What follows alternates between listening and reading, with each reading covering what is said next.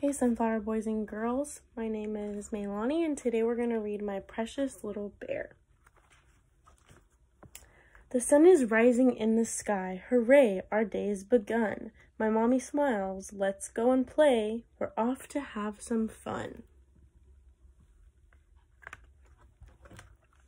The long grass by the water's edge is great fun to explore.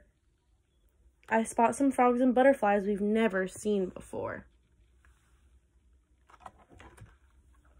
The bees are buzzing happily and lead us to a treat, some sweet and sticky honeycomb that tastes so good to eat.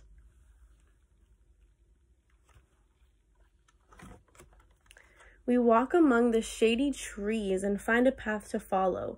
It leads us to a furry friend who peeps out from a hollow.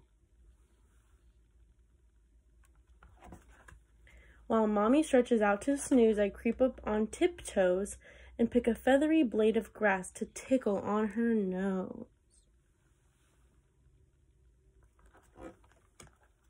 We race up to the riverbank and dive into the pool. I like it when we swim down deep. The water's icy cool.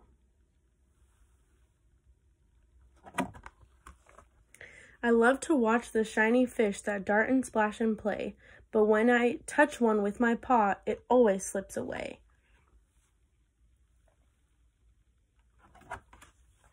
The evening sky fades purple pink, the mountains glow with light. I wave goodbye to all my friends, it's time to say night night.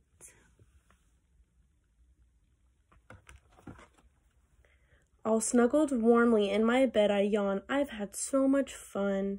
Me too, my little bear, smiles Mom. I love you, precious one. The end.